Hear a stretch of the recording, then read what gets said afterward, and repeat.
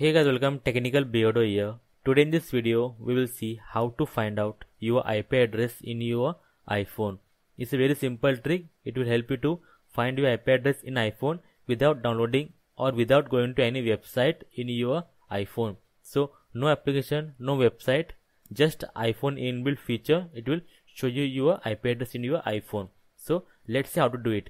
Basically if you see here, okay on screen you can see basically it's a shortcut so whenever you tap on the shortcut application or an icon, it will run and it will display the IP address in your of your iPhone. So how to do it and how to make this icon, how to get this shortcut, it's very easy.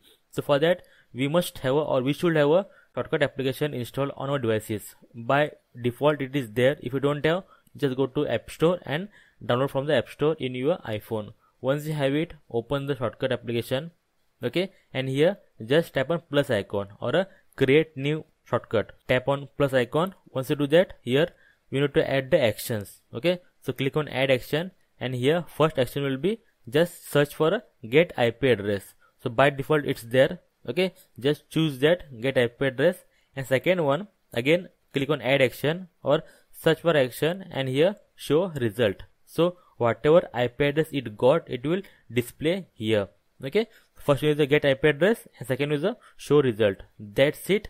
So now you can customize the shortcut like uh, creating colors or creating the icon. Okay? Once you have those things done now click on share icon. So here on that tap the add to home screen. So customize your shortcut then click on share icon add to home screen. After that it will create an icon on your home screen so next time you want to type or you want to search for your IP address, just tap on the icon and it will show you the IP address of your device in your iPhone. So it's a thing, it's a very simple trick.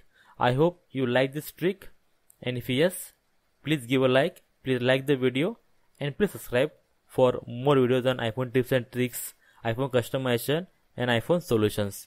Until then, thank you very much. Bye bye. Take care. See you in the next video.